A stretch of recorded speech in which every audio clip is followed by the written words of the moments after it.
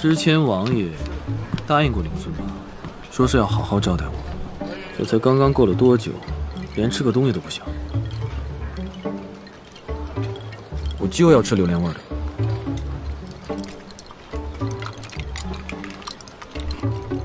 你说什么？我就要吃榴莲味的。买。哎，来钱的捧个钱场，没钱的捧个人场。今日碧草王府可供参观，神君之貌，闭月羞花，沉鱼落雁，只需三灵石便可入门一关。三灵石童叟无欺，货真价实，交钱进门吧。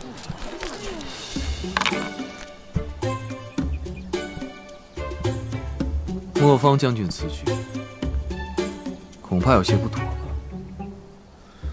神君何出此言？